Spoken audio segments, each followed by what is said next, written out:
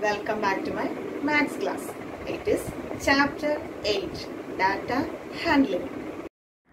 Data handling refers to the process of gathering, recording, and presenting information in a way that is helpful to others, for instance, in graphs or charts.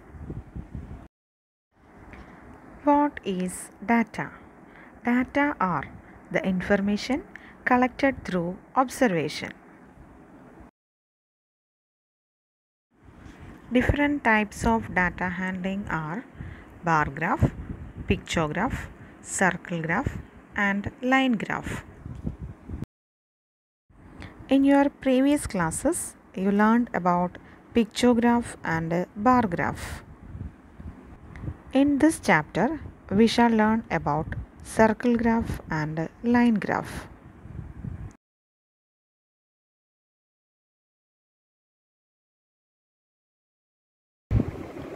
Representing a numerical data by dividing a circle into sectors is called pie graph, pie chart, or circle graph. The number of hours spent by Monica after school on different activities in a particular week is listed here and represented in a circle chart. The circle represents 16 hours. Let us find the number of hours spent by Monica on each activity. The total number of hours spent by Monica on these activities in that week was 16 hours since the circle represents 16 hours.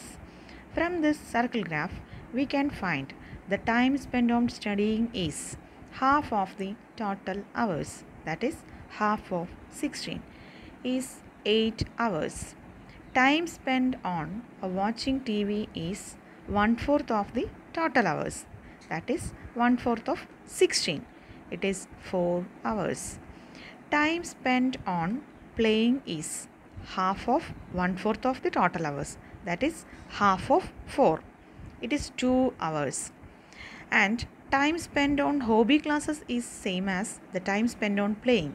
That is 2 hours from this circle graph we can understand monica spent half of the time for studying one fourth of the time for watching tv and 1 by 8 of the time for playing and 1 by 8 for hobby classes